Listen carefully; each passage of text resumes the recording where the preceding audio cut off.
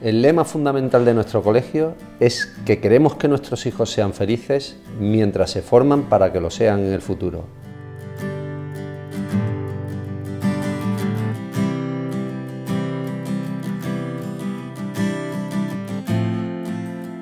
Educamos en valores. Los resumimos en cinco.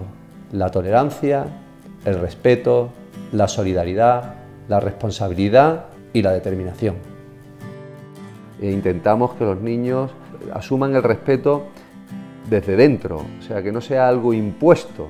Por eso creo que el entorno ayuda mucho a esto. Todas las personas inteligentes son solidarias. Si ayudamos a los niños a ser solidarios, vamos a ayudarles a desarrollar su inteligencia.